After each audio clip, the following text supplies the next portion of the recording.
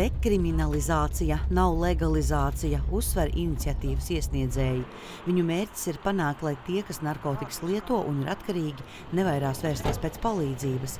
Tagad, bailēs no policijas un sekojoša krimināla procesa, lietotāji gatavi mirt, nevis zvanīt 113 tiem, kuriem ir vajadzīga šī palīdzība, lai viņi nebaidītos lūgt viņu. Nu, es visur kā piemēru minu to gadījumu ogrē 16-gadīgs puisis, ja, kur uh, viņa čoma arī atzina, ka nesauc palīdzību, tāpēc, ka uh, nu, baidījās no policijas. Jā. Viņš nomira. Jā, un viņš diemžēl nomira. Jaunietis uh, ir um, jūtīgāks, viņam šīs eh, blaknes eh, no narkotiku lietošanas var būt ātrākas, un tāpēc saulēcīgi ir jāvēršas, eh, jāsauc neatliekamā medicīnas palīdzība, jāiet runāt ar ārstiem, kas var palīdzēt šajā jautājumā, un viņi nedrīkst baidīties.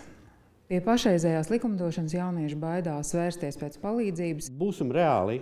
34 gadu laikā piekoptā politika attiecībā uz narkotikām ir pierādījusi to, ka viņi ir neefektīva, jo uzlabojumi nav pilnīgi nekur, viss kļūst tikai sliktāks.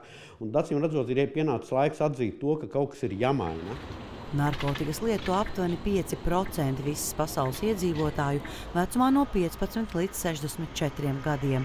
23 pasaules valstis ieviesušas juridisku regulējumu attiecībā uz vienu vai vairākām iepriekš nelegālām narkotikām. To, kādas narkotikas un cik daudz drīkst būt pie lietotāja, katra valsts nosaka pati.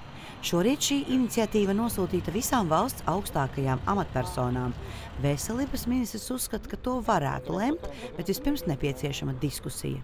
Kamēr mēs eh, neteiksim viņiem, ka ja cilvēki paliek slikti, ka var eh, droši braukt uz slimnīcu vai pazvanīt eh, NMPD, lai palīdzētu, mēs diemžēl daudz jaunieši zaudējam.